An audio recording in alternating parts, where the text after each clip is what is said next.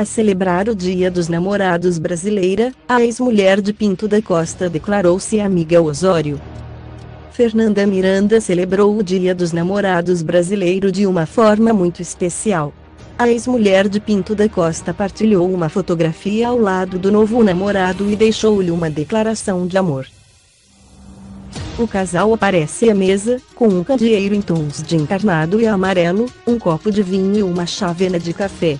Ao que tudo indica, Fernanda e Miguel Osório desfrutaram de um jantar romântico antes de captar a imagem.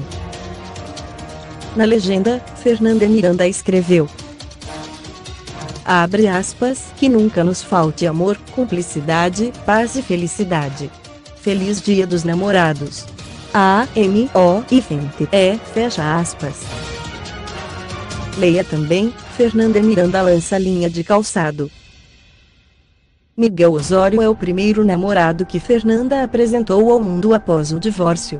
A empresária separou-se do presidente do Futebol Clube do Porto em 2016 e, desde então, nunca apresentou nenhuma relação publicamente. De acordo com a imprensa nacional, a nível profissional, Miguel já esteve ligado à Sonai, agora, trabalha no Grupo Candando, uma cadeia de supermercados nascida em Angola. Jorge Nuno Pinto da Costa também já teve uma relação após o divórcio. O presidente dos, aspas, dragões, aspas, apareceu em vários eventos públicos relacionados com o clube acompanhado por Cláudia Campo.